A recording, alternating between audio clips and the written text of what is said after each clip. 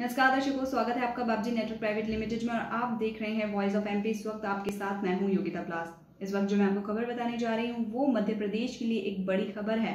जी हाँ आपको बता दें कि अब मध्य प्रदेश की किस्मत बदलने जा रही है। दिल्ली और मुंबई कॉरिडोर से जोड़ने के लिए अब देश में एक सौ तिहत्तर लंबे फोर लेन बनने जा रही है। वहीं इस फोर लेन का दो सौ चौवालिस किलोमीटर का हिस्सा जो है वो मध्य प्रदेश से होकर गुजरेगा। जिसमें इंदौर, देवास, उज्जैन, आगर और गरोट ज़िले भी शामिल होंगे। जी हाँ आपको बता दें कि अब इसके लिए केंद्र सरकार की, मोदी सरकार ने हरी झंडी भी दे दी है। वहीं 2023 तक ये जो फोर लेन है, वो बनके तैयार हो जाएगी।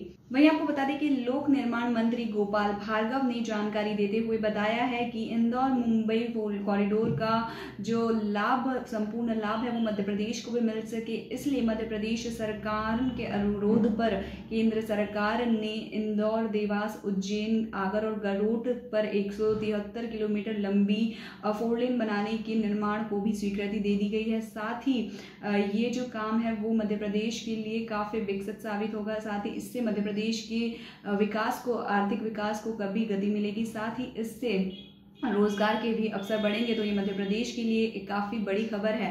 वहीं आपको बता दें कि ये जो फोर लेन है, वो 2023 तक बनकर तैयार हो जाएगी। ये थी इस वक्त की बड़ी खबर जो वॉइस ऑफ़ एमपी ने आपको दी और ऐसी अन्य खबरों के लिए हमारे साथ बने रहे वॉइस ऑफ़ एमपी पर। धन्यवाद।